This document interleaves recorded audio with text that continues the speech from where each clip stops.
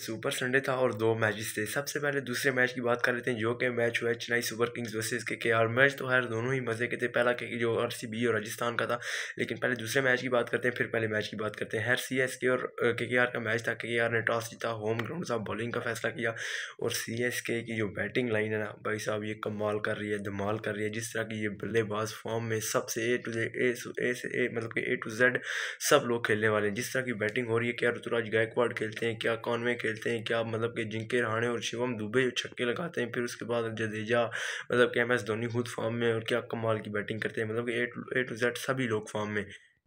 है टॉस जीता के के आर ने बॉलिंग का फैसला किया एडन गार्डन्स का ये मैदान था और यहाँ पर बहुत सारे रन बने और हाईएस्ट स्कोर बना है एडन गार्डन्स की हिस्ट्री का इस मैच में। तो खैर ओपनिंग करने के लिए ऋतुराज गायकवाड़ और उनके साथ डेवन कॉनवे जो शुरुआत ही काफ़ी अच्छी हुई ऋतुराज गायकवाड़ ने बीस बॉल में पैंतीस रन किए, जिसमें तीन छक्के और दो चौके शामिल थे। और जहाँ तक डेवन कॉनवे की बात है, चालीस बॉल में साठ फिफ्टी सिक्स रन की इनिंग्स चली जिसमें तीन छक्के और चार चौके शामिल थे। कमाल का स्टार्ट हुआ सी के तरफ़ से। दोनों ही खिलाड़ियों ने काफ़ी होम जम के धुलाई की बैट बॉलर्स की आ, मतलब कि वो मौका ही नहीं दिया कि वो विकेट गिरने का या इस तरह का क्योंकि सेड ही मतलब कि बैटिंग विकेट होती है एडन गार्डन की और वहाँ पर रन मतलब कि पानी की तरह बनते हैं। तो इस मैच में भी हमें कुछ इस तरह का ही देखने को मिला। उसके बाद जब पहली विकेट गिरी जहाँ तक यहाँ पर ऋतुराज गायकवाड़ हुए वो सुयाश शर्मा ने उनको आउट किया। वो मतलब कि वो इन स्विंगर वो गुगली इनको उनसे पढ़ नहीं और बोल्ड हो गए लेकिन उसके बाद जिनके राणे आए और जिनके राणे तो है आखिर तक नॉट आउट रहे। ये हर मैच में वो छोटी इनिंग्स खेलते होते हैं इम्पैक्टफुल मतलब कि सोलह सत्रह बॉल में पैंतीस छत्तीस रन बना दिए, लेकिन इस मैच में तो ये नॉट आउट रहे।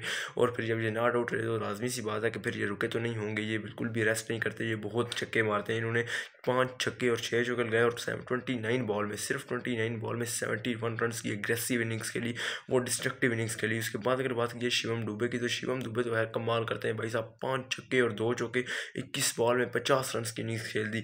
और मतलब कि क्या कमाल की बैटिंग की इन दोनों खिलाड़ियों ने। ये जो आप पहले ऋतुराज गायकवाड़ और जैवन खान में तो आउट हो गए थे फिर उसके बाद, क्योंकि जो पहली विकेट गिरी थी वो सेवेंटी थ्री पे गिर गई थी ऋतुराज गायकवाड़ चलते बने और वन हंड्रेड एंड नाइन पे, दूसरी विकेट गिरी जहाँ पर दैवन कॉन्वे चलते बने।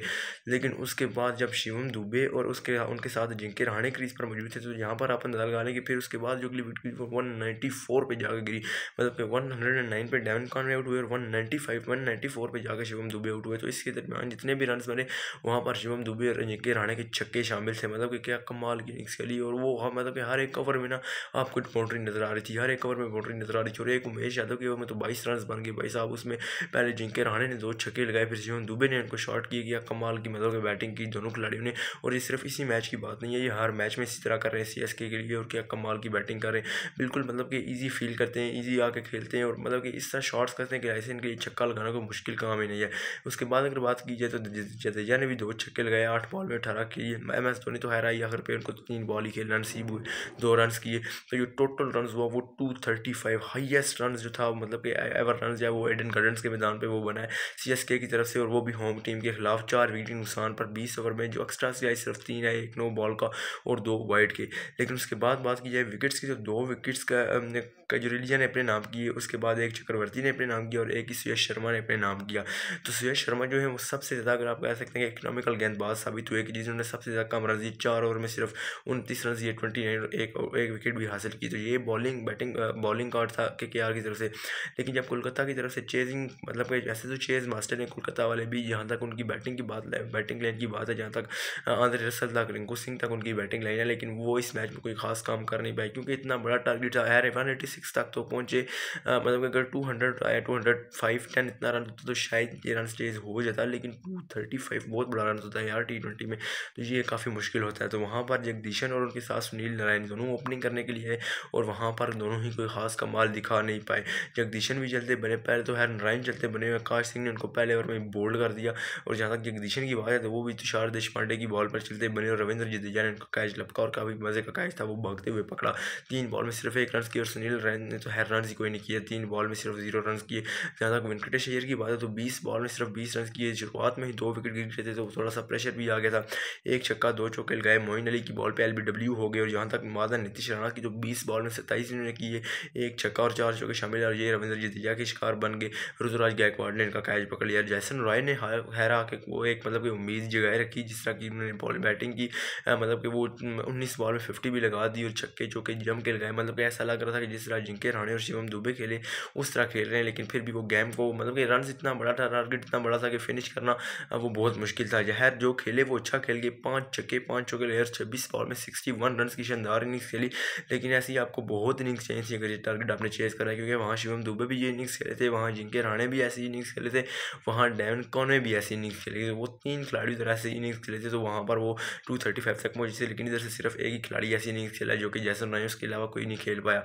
जहाँ तक बात है रिंकू सिंह की तो खैर वो भी अच्छा ही खेले, लेकिन गेम को फिनिश हुई बात नहीं कर पाए, चार छक्के, तीन चौके, तैंतीस बॉल में फिफ्टी थ्री रन किए, रसल कोई मैच नहीं खेल पा रहे। अभी तक तो एक मैच भी उस तरह से नहीं खेले जिस तरह से प्लेयर ने छः बॉल में सिर्फ़ नौ रन किए और एक छक्का ही लगाया डेविड विसे को मौका मिला था के आर की तरफ़ से आज के मैच में, लेकिन वो भी कोई कमाल कर नहीं पाए, ना बैटिंग में, ना बॉलिंग में। दो बॉल में सिर्फ़ एक रन किए, वो भी एल हो गए, तुषार देशपांडे की बॉल पर और उमेश यादव चार बॉल में सिर्फ़ चार रन किए, और जहाँ तक चक्रवर्ती की बात है, तीन बॉल।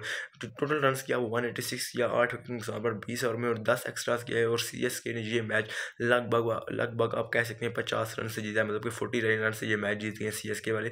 तो जहाँ तक बॉलिंग की बात है तुषार देशपांडे ने दो विकेटें हासिल की तिक्षणा ने दो विकेटें हासिल की, एक एक विकेट बाकी सब बॉलर्स ने हासिल की, जिसमें आकाश सिंह, जिस जिसमें उसके बाद जदेजा शामिल है, उसके बाद पथीराना शामिल है। तो ये मतलब कि बैटिंग लाइन, बॉलिंग कार्ड था जो कि सी के तरफ़ था, और सी ने ये मैच मतलब कि बड़ी बासानी ये मैच जीत लिया। बैटिंग इस तरह की हो रही है, क्या कमाल की एम एस धोनी की टीम चमक रही है।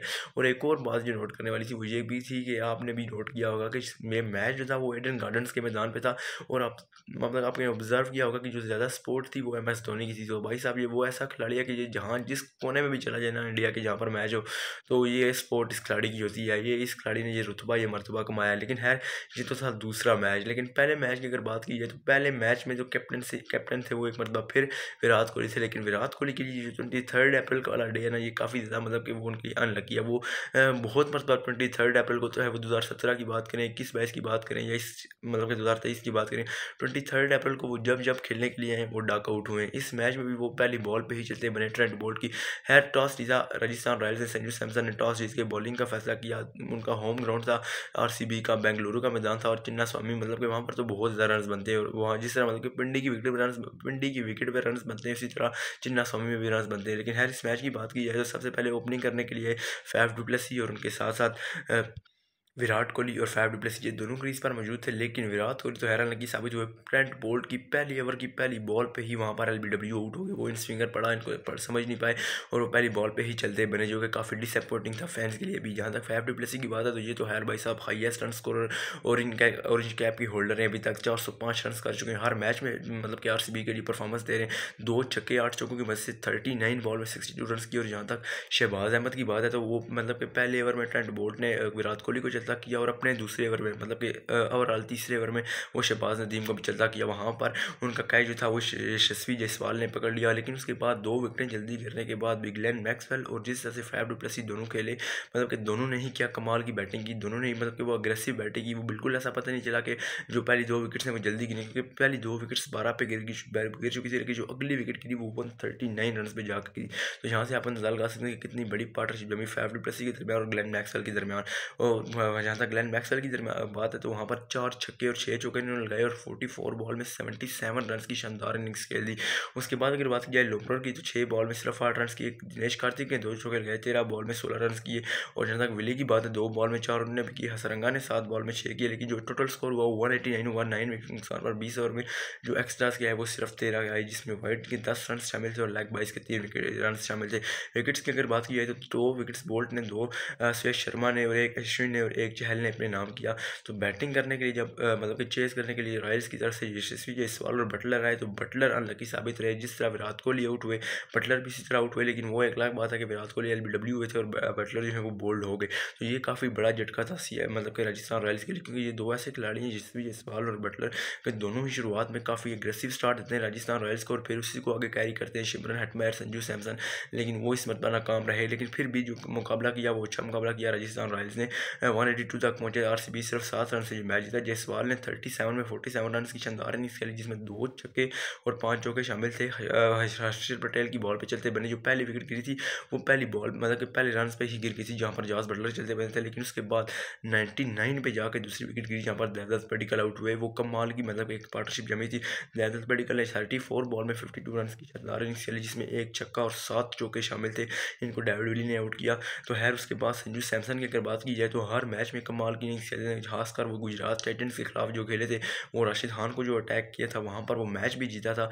तो कमाल की ये फॉर्म में, लेकिन इस मैच में भी वो खेल तो गए, लेकिन उस तरह से लंबा नहीं खेल पाए कि टीम को फिनिश करा पाए। पंद्रह बॉल में बाईस रन की इनिंग्स खेली, जिसमें एक छक्का और दो चौके शामिल थे। उसके बाद अगर बात की जाए तो शिमरन हेटमायर तो है, रन लकी रहे रन आउट हो गए। शायद अगर जिस पर खड़े रहते तो ये मैच जो चार पाँच रन से हार गए, ये मैच जीत सकते थे। क्योंकि ये ऐसा खिलाड़ी है कि जो संजू सैमसन या खेलें या ना खेलें तो ये अकेला खिलाड़ी वन मैन आर्मी की तरफ़ फाइट करता है। डेथ में आके राजस्थान रॉयल्स के लिए लेकिन यार अनलकी रहे रन आउट हो गए सियाश प्रभु से सही ने उनको आउट कर दिया। जहाँ तक ध्रुव जुरल की बात है तो ये इन्होंने मतलब कि अपनी पूरी कोशिश की किसी तरह का मैच को मतलब कि वो लाइन के पार पहुँचा दें, लेकिन नाकाम रहे।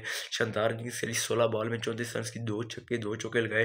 टू ट्वेल्व दो सौ बारह के स्ट्राइक रेट के साथ खेले। वहाँ पर अश्विन ने भी छः बॉल में बारह रन किए, दो चौके लगाए।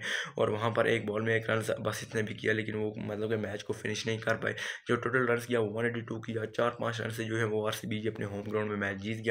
और मज़े की बात, विराट कोहली की कैप्टनसी में जीता छः विकेट नुकसान पर और यहाँ पर एक्स्ट्रास की बात है, ग्यारह एक्स्ट्रास गया जिसमें सात वाइट के थे, एक बाईस का था और तीन लैक बाईस के थे और जहाँ तक विकेट्स की बात है तो तीन विकेट हर्षल पटेल ने अपने नाम की और एक एक विकेट सिराज और वेली ने अपने नाम किया तो ये सुपर संडे की कहानी थी। पहला मैच आर ने अपने होम ग्राउंड में जीता और दूसरा सी ने अपने होम ग्राउंड में तो नहीं जीता, लेकिन लग ऐसा रहा था कि ये उनका होम ग्राउंड है चिनपोक लेकिन यार क्या कमाल के मैचेस हुए दोनों दोनों ही मतलब कि कमाल की टीमें चारों टीमें मतलब कि जो हारी हैं, वो भी कमाल की टीम है, लेकिन अब जो मज़े की बात है कि C S K M S Dhoni की टीम जो है वो टॉप टेबल टॉप टेबलिस्ट हो गए टॉप पे पहुँच गए।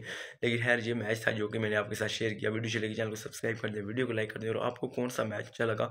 दूसरे मैच की बैटिंग लाइन जो इनिंग्स थी वो अच्छी लगी, जो कि जिनके रहाने और शिवम दुबे ने खेली या पहले मैच की जिसमें ग्लैन मैक्सवेल और फॉफ डुप्लेसी ने खेला, वो आपको इनिंग्स अच्छी लगी। कौन सी पार्टनरशिप आपको अच्छी लगी वो भी कमेंट सेक्शन में लाजमी बता दें। तो वीडियो अच्छी चैनल को सब्सक्राइब कर दें वीडियो को लाइक कर दें। मिलते हैं नेक्स्ट व्लॉग में। अल्लाह हाफिज़।